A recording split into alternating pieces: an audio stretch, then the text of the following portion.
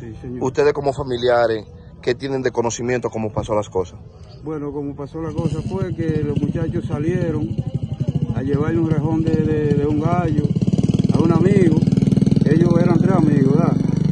Entonces estos dos salieron en un carro a llevar un, re- un rejón de un gallo. Cuando llegan al cruce Senoví, encontraron el otro amigo. Mi sobrino se apea del carro y se monta en el motorcito chiquito con el amigo.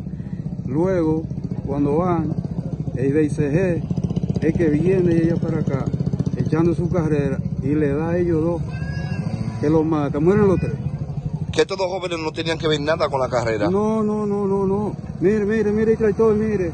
Que ese muchacho dio cabo a, a las 6 de la tarde, todavía el muchacho estaba trabajando en el tractor, mire. ¿Cómo se llamaba su sobrino? Inauri Santana. ¿Qué edad tenía este joven? Estaba como por 22 años. Y mira, ¿Cómo se llama esta comunidad aquí? aquí es la maiga, la reforma, le dice. Yo quiero que se demienta esa noticia, porque mi sobrino iba y ellos lo impactaron, incluso que mi sobrino iba detrás del otro joven que murió.